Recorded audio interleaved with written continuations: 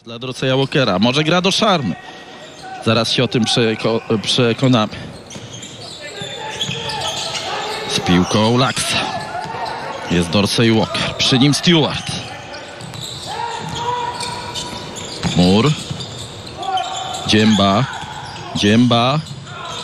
Ryzykownie Laksa. Trafia w ostatniej sekundzie akcji. O czas prosi Oliver Windin.